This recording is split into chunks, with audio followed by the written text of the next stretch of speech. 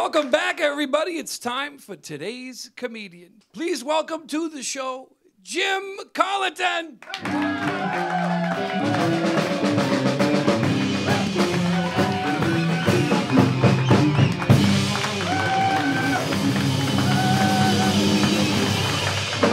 Thank you. Thank you very How about the band, huh?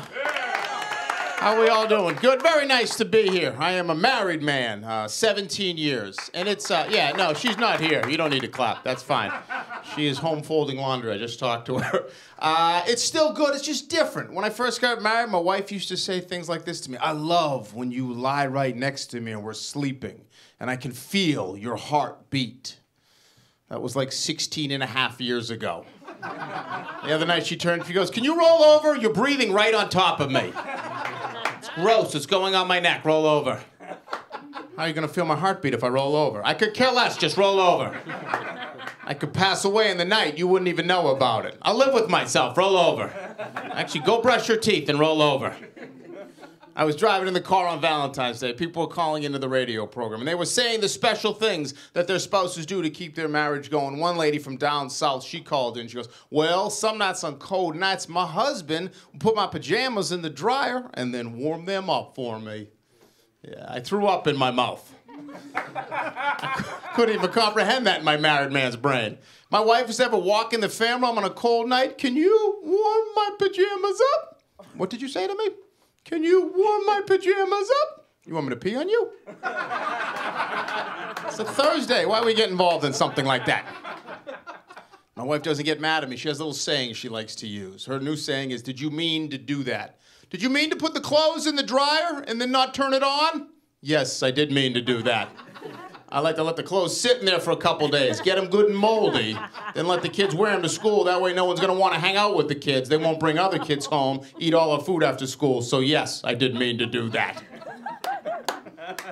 You know what I've been noticing a lot lately? Soulmates. You notice everyone's looking for their soulmates? I usually find people find their soulmates when they're married to someone else. no, that's not your soulmate. That's just a new mate you're playing with now. I've been married 17 years. I've realized my soul, not that important anymore. you can golf a lot more without a soul.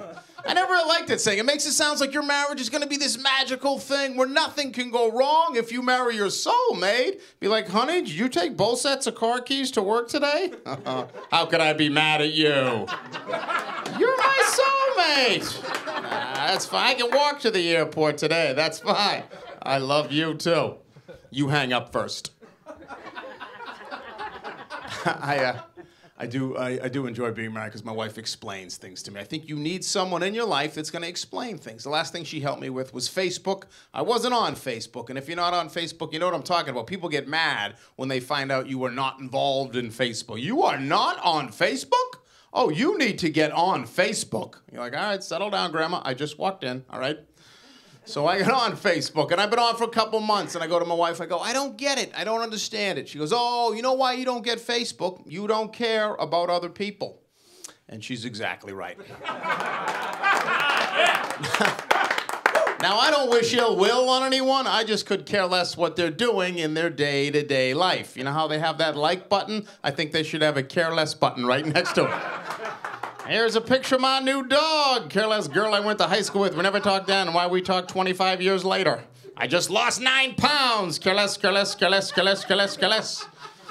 I think my favorite people, though, are the people get on and post, I am so busy today. I don't know how I'm going to get everything done.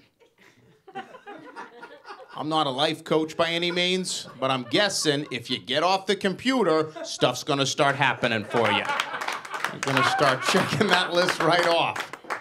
First day I was on Facebook, I tried to get into it. I, uh, I loaded on, they have the front page, and a buddy of mine posted, just had scrambled eggs for breakfast. Unreal, period, end of post. I had to call my wife and go, is scrambled eggs a new code for something? Some kind of sex or drug I don't know about? Should we be doing the scrambled egg at some point? She's like, no, I think he's just letting you know he had scrambled eggs for breakfast. I was like, wow, those must have been some good scrambled eggs.